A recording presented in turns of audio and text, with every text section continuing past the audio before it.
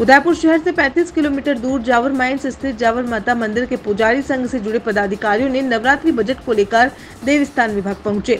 पुजारी संघ से जुड़े पदाधिकारियों ने आरोप लगाया कि देवस्थान विभाग के सहायक आयुक्त गांधी ने पुजारियों के साथ अभद्रता की और आतंकी कहते हुए ऑफ़िस से निकल जाने को कहा। इस घटना से नाराज़ पुजारी संघ ने जिला कलेक्टर अरविंद पोसवाल और सांसद मनोलाल रावत को शिकायत की। इधर सहायक आयुक्त जतिन गांधी ने सभी आरोपों को बेबुनियाद बताया है। बताइए।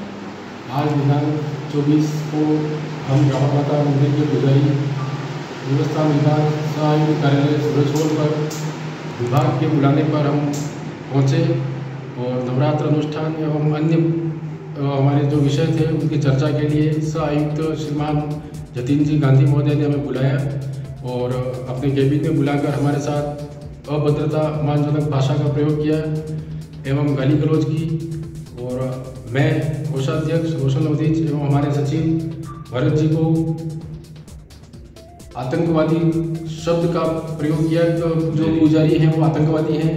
इससे उन्होंने न केवल हम पुजारियों का अपितु समस्त सनातन धर्मियों का अपमान किया है।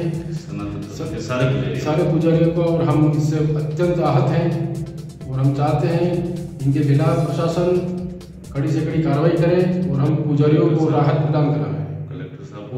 साहब और हमने सबने मिलकर ज्ञापन दिया है और संबंधित थाने में हमने इनके खिलाफ कानूनी कार्रवाई के लिए रिपोर्ट दर्ज करवाई है और इनके खिलाफ सख्त से सख्त कार्रवाई की जाए। वहाँ जहाँ माता मंदिर में हमारे आज एक महीने से भोग नहीं लग रहा है माता जी को। इन्होंने भोग कक्ष के ताला तोड़ के अपना ताला लगा दिया है। जो आज एक डेढ़ माह से जार माता मंदिर माता जी को भोग नहीं लग रहा है। मैं जार माता पुजारी संघ का सेक्रेटरी भरत अधीच इस विषय में हमने हमारे सांसद महोदय श्रीमान मंदलाल जी रावत को भी ज्ञापन दिया है। उन्होंने भी हमें आश्वस्त किया है। जिलाध्यक्ष रविंद्र जी श्रीमाली ने भी हमें आश्वस्त किया है।